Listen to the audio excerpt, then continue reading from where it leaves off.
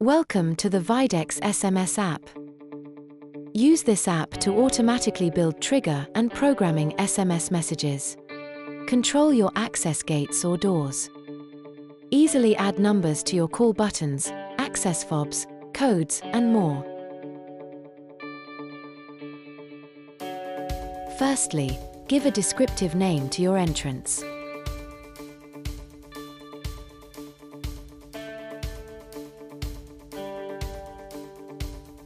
Next, set the telephone number for your GSM entrance.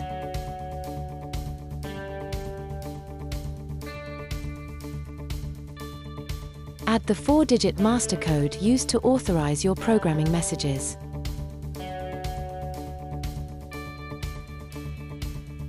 Finally, choose the model of the intercom you would like to add to your entrance.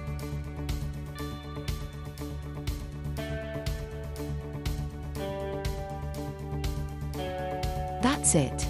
You've created your first Videx GSM entrance.